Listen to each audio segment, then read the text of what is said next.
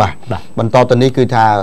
ព័ត៌មានដែលពាក់ព័ន្ធទៅនឹងបរិស្ថានផងហើយនឹងយុទ្ធនាការនៃការឃោសនាបោះឆ្នោតផងមានន័យថាសាលារាជធានីភ្នំពេញកាលពីម្សិលមិញនេះគឺបានជំរុញឲ្យក្រុមហ៊ុនសិនត្រីបង្កើនការបោះសម្អាតសម្រាមនៅក្នុងយុទ្ធនាការឃោសនាបោះឆ្នោតចាប់ពីថ្ងៃនេះរហូតដល់ថ្ងៃទី26មានន័យថា30ថ្ងៃនេះឲ្យ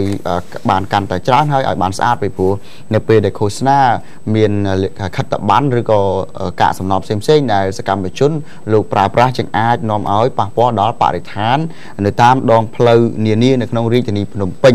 បាទអាយដាមប៉ាសយុទ្ធវងនៅក្នុងពិធីសម្ដែងសម្ដាលជាមួយនឹងបងប្អូនកម្មករកម្មការនីនៃក្រុមហ៊ុនសិនទ្រីប្រមាណជា1100នាក់កាលពីម្សិលមិញនេះក៏ហៅថានៅក្នុងបរិវេណសាលារាជធានីភ្នំពេញអាយដាមបានបញ្ជាក់ថានៅក្នុងយុទ្ធនាការឃោសនាបោះឆ្នោតម្ដងម្ដងគណៈបកនយោបាយទាំងអស់តែងតែចេញឃោសនាហើយជាក្បួនប្រជុំនិងការចែកខិត្តប័ណ្ណផ្សព្វផ្សាយពីគោលនយោបាយរបស់ពួកគេអាដាមអះអាងថាសកម្មភាពនេះនឹងបង្កើនសម្រាមជាច្រើននៅតាមដងផ្លូវនិងតំបន់សាធារណៈផ្សេងផ្សេងទៀតដែលវាអាចជះឥទ្ធិពលមិនល្អនៃអនាម័យបរិស្ថាននៅក្នុងរាជធានីភ្នំពេញទាំងមូលហើយដំបន្តថាទោះបីជាសាលារាជធានីភ្នំពេញបានណែនាំឲ្យគណៈបកនយោបាយទាំងនោះយកចិត្តទុកដាក់កំចោលសម្រាម គ្រប់ប្រភេទពីសវាលពីសកាលក៏ដោយក៏ប៉ុន្តែបញ្ហានេះអាចនៅតែកើតមានដដែលដោយតម្រូវឲ្យបងប្អូនជាបុគ្គលិកសិនត្រីទាំងអស់ត្រូវបង្កើនសកម្មភាពបន្ថែមទៀតដោយត្រូវបោសសម្អាតទាំងយប់ទាំងថ្ងៃដើម្បីជួសជុលនៅបញ្ហាបាត់ អនាម័យល្អភាសានេះអាដាមបញ្ជាក់ថាយើងចាំបាច់ណាស់ដែលត្រូវពង្រឹងលើកិច្ចការនេះដើម្បីធ្វើឲ្យរាជធានីភ្នំពេញនៅតែមានសភនភាពល្អដោយហេតុថាទាំងប្រជាប្រដ្ឋក៏ដូចជាអ្នកទេសចរអន្តរជាតិនៅតែបន្តចូលណាសម្រាប់កំសាន្តជារៀងរាល់ថ្ងៃក្នុងរាជធានីភ្នំពេញបាទហើយនៅក្នុងឱកាសសម្ដែងសម្ដាលជាមួយបងប្អូនកម្មករកម្មការិនីនៃក្រុមហ៊ុនសិនត្រីនោះលោកអុកញ៉ាសេងសាវីដែលជាអគ្គនាយកក្រុមហ៊ុនសិនត្រីបានមានប្រសាសន៍ថាកម្មករនយោជិតរបស់ក្រុមហ៊ុនសិនត្រីទាំងអស់បានត្រៀមខ្លួនរួចជាស្រេចហើយក្នុងការអនុវត្តភារកិច្ចនេះដើម្បីធានាឲ្យសភនភាពនិងអនាម័យនៅក្នុងទីក្រុងកាន់តែស្រស់ស្អាតគ្មានសម្រាមនៅទីសាធារណៈ បាទនេះគឺជាការហៅថាក្រៅរំលឹកបន្ថែម ការពង្រឹងបន្ថែមរបស់សាលារាជធានីភ្នំពេញចំពោះបងប្អូនកម្មករនយោជិតរបស់ក្រុមហ៊ុនសិនទ្រីហើយខាងក្រុមហ៊ុនក៏បានត្រៀមខ្លួនរួចជាស្រេចហើយដើម្បីណាបោសសម្អាតប្រមូលសម្រាមក្នុងយុទ្ធនាការឃោសនាបោះឆ្នោតនេះបាទបាទឥឡូវយើងងាកទៅឯខាងឯព្រំដែនឯនោះវិញគឺកាលពីម្សិលមិញនៅថ្ងៃទី26ឯកឧត្តមឧត្តមសេនីយ៍ឯកសិសុជាតិដែលជានាយរងសេនាធិការចម្រុះនិងជានាយកទីចាត់ការងារព្រំដែនអគ្គបញ្ជាការ គឺបានជួបជាមួយនឹងឧត្តមសេនីយ៍ឯកវរវិទដារងជូដែលជានាយកជានាយកថាកិច្ចកិច្ចការងារព្រំដែនកងទ័ពភូមិន្ទថៃបានជួបពិភាក្សាការងារនៅទីនោះហើយនៅក្នុងជំនួបពិភាក្សាការងារនោះផងដែរអាចដំសិសុជាតិក៏បានលើកឡើងអំពីស្ថានភាពតាមព្រំដែនគឺនៃប្រទេសទាំងពីរហ្នឹងគឺបានធ្វើការដោះស្រាយដោយសន្តិវិធីដែលមិនមានបញ្ហាប្រឈមទៅនឹងការប្រដាប់អាវុធជាមួយគ្នានោះទេទោះបីជាកម្ពុជានិងប្រទេសថៃធ្លាប់មានបញ្ហាទំនាក់ទំនងខាងព្រំដែន កាលពីពេលកន្លងមកយ៉ាងណាក៏ដោយហើយនៅក្នុងនោះផងដែរឧត្តមសេនីយ៍ឯកវរវិទដែលជាខាងដែលជានាយ ទេសេនាធិការព្រំដែនកងទ័ពភូមិន្ទថៃហ្នឹងក៏បានលើកឡើងថាបញ្ហាប្រឈមទាំងឡាយដែលកើតមានរវាងកងទ័ពនៃប្រទេសទាំងពីរហ្នឹងត្រូវតែងតែធ្វើការរួមគ្នាដោះស្រាយដោយសន្តិវិធីហើយរួមគ្នាពង្រឹងបន្ថែមទៀតនៅសម្ព័ន្ធភាពមេត្រីភាពនិងកិច្ចសហប្រតិបត្តិការដែលមានស្រាប់រវាងរដ្ឋាភិបាលនៃប្រទេសទាំងពីរនៅក្នុងជំនួបពិភាក្សានោះផងដែរ គឺក៏បានលើកឡើងអំពីបញ្ហាតាមព្រំដែនគឺធ្វើការទប់ស្កាត់នៃការជួញដូរមនុស្សការជួញដូរគ្រឿងញៀនឆ្លងដែនមកប្រទេសទាំងពីរនេះផងដែរបាទបាទឥឡូវមកមើលការអភិវឌ្ឍប្រព័ន្ធធារាសាស្ត្រនៅក្នុងប្រជាជាតិកម្ពុជាប៉ុន្តែយើងទៅកាន់ខេត្តតាកែវនៅស្រុកសំរោងគឺការជួសជុលនិងការស្ដារនៅគេហៅថាទំនប់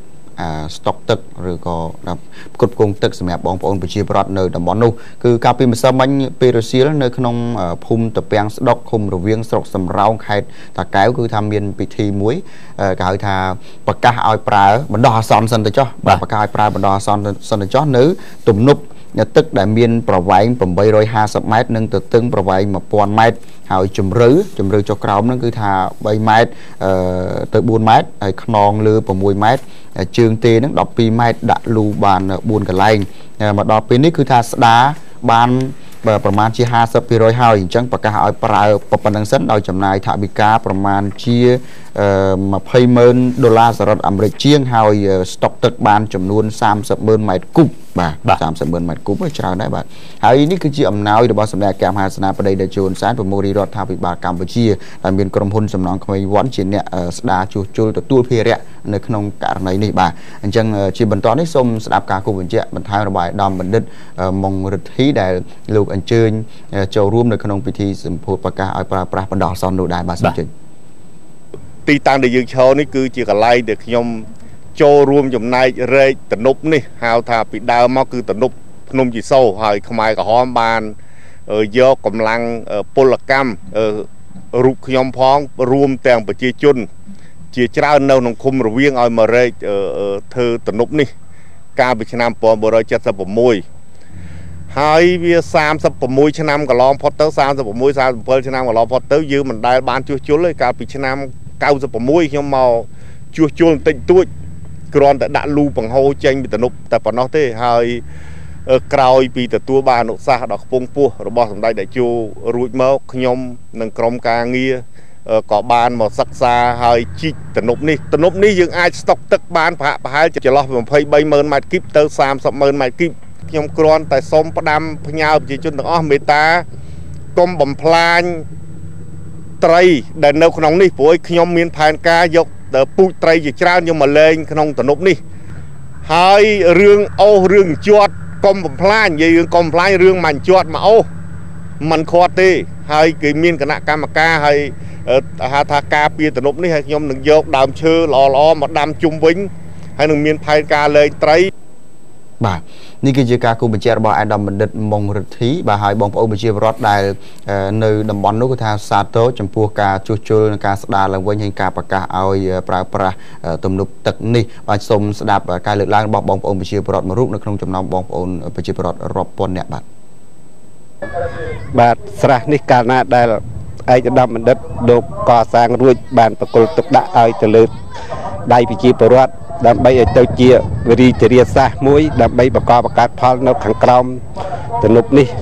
ទៅកើតរហូតទទួលគ្នានឹងមាត់អូទៀតណានឹងបានទទួលផលដោយសារអំណាចទឹកនេះដើម្បីស្រោចស្រពក្នុងពេលដាំដុះឬក៏ស្ទូងដកក្នុងរដូវវស្សាដែលមានការខ្វះខាតដោយការរាំងស្ងួតទៀត បាទនៅក្នុងពិធីប្រកាសឲ្យប្រើពាក់កណ្ដាលផ្លូវការនេះអាយដាមបណ្ឌិតមុកម៉ារ៉េតដែលជារដ្ឋមន្ត្រីក្រសួងបរិស្ថាន បានជំរុញលើកទឹកចិត្តឲ្យបងប្អូនប្រជាពលរដ្ឋចូលរួមបន្តទៀតជាមួយរាជរដ្ឋាភិបាលកម្ពុជានៅក្នុងការថែរក្សានៅអ្វីអ្វីដែលជាសមិទ្ធផលរបស់រាជរដ្ឋាភិបាលកកើតឡើង ហើយ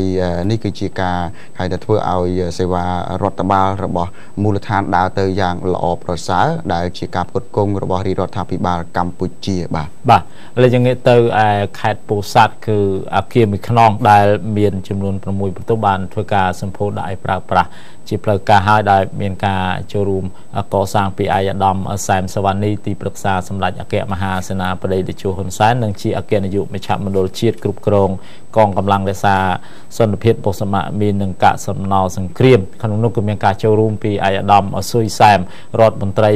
ក្រសួងឧស្សាហកម្មរ៉ែនិងធម្មពលផងដែរនៅក្នុងពិធីសម្ពោធដាក់ឲ្យប្រើប្រាស់នៅអាគារ